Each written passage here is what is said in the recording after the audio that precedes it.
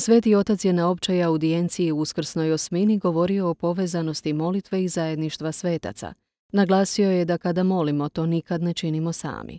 Naime, svaki put kad sklopimo ruke i otvorimo srce Bogu, nađemo se u društvu anonimnih svetaca, ali i poznatih svetaca koji mole s nama i posreduju za nas kao starija braća i sestre koji su prošli kroz istu ljudsku pustolovinu.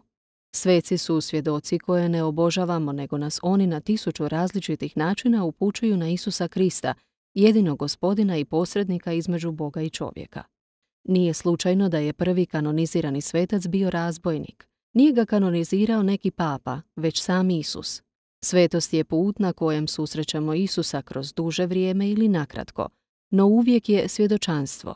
Svetac je svjedok, muškarac ili žena koji je susreo i slijedio Isusa, istaknuo je Papa Franjo. U nastavku kateheze dodao je kako u Kristu postoji tajanstvena solidarnost između onih koji su prešli u drugi život i nas hodočasnika u ovom životu. Naši dragi pokojni nastavljaju se brinuti o nama s neba.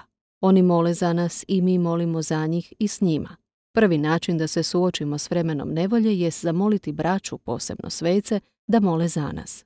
Ako u našem životu iskušenja nisu premašila vrhunac, ako smo i dalje sposobni biti ustrajni, ako usprko svemu idemo naprijed s povjerenjem, možda sve ovo više nego svojim zaslugama, dugujemo zagovoru tolikih svetaca nekih na nebu, drugih kao hodočasnika poput nas na zemlji, koji su nas štitili i pratili, kazao je na kraju Sveti Otac.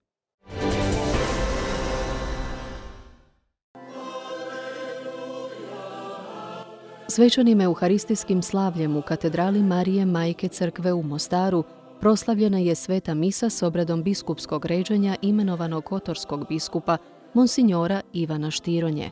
Glavni zareditelj bio je splitsko-makarski nadbiskup i metropolit Monsignor Marin Barišić.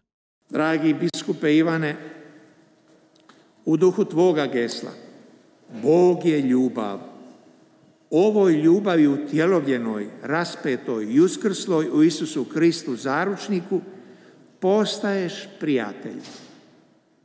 Ostani u ljubavi Kristovoj, da njegova radost bude u tebi i da tvoja radost služenja njemu zaručniku u crkvi bude potpuna. Htio bi ti prenijeti riječi upućene jednom novozarađenom biskupu. Više slušaj nego što govoriš. Govori samo iz ljubavi i uvijek radi ljubavi. Ne zaboravi svaki dan i u najtežim danima klicati veliča duša moja gospodina i žurno ići sa zaljubljenošću majke Marije ususret braći i sestrama. A sve zato jer Bog je ljubav. Amen. U misnome slavlju sudjelovali su biskupi i nadbiskupi iz Hrvatske, Bosne i Hercegovine i okolnih zemalja. Su zareditelji bili su barski nadbiskup i apostolski upravitelj Kotorske biskupije, monsignor Rok John Lešaj, te monsignor Petar Palić, mostarsko-duvanjski biskup i apostolski upravitelj Trebinsko-mrkanski. Tvoja radost danas u istinu je i naša. Nas, tvojih, od kojih si potekao i među kojima si živio, i tvojih kojima si poslan i među kojima ćeš vršiti pastirsku službu.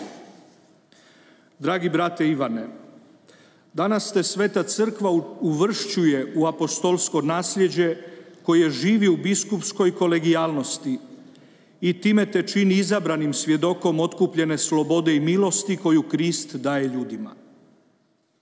Isti Krist te pomazanjem posvećuje i suobličuje svome jedinstvenom i neponovljivom svećeništvu, da ga na poseban način, kao prvi u ljubavi, živiš u službi njegove crkve u Kotorskoj biskupiji. Iako je želja novozaređenog biskupa bila da ređenje bude u Kotoru, zbog loše epidemiološke situacije to nije bilo moguće.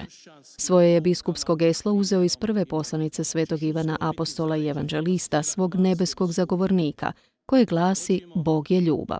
Usoličenje novog kotorskog biskupa bit će 27. travnja na blagdan Blažene Ozane Kotorske u katedrali Svetog Tripuna u Kotoru.